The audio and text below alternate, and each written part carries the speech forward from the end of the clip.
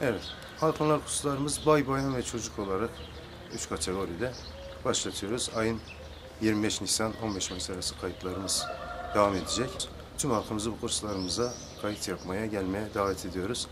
Ee, buradaki amacımız halkımızın bir sosyal faaliyetlerde bulunması, e, Urfa'ya yönelik olan halk öğrenmeleri. Firma kurslarımız devam ediyor. Ee, şu anda bir iki haftaya kadar bitmek üzere. Yine enstrüman kurslarımızda keman, gitar, bağlama dallarında yine açacağız. Bu arada korolarımız biliyorsunuz sanat müziği, halk müziği, çocuk koromuz devam ediyor. 7 Mayıs'ta Türk Halk Müziği Koro konserimizi yapacağız.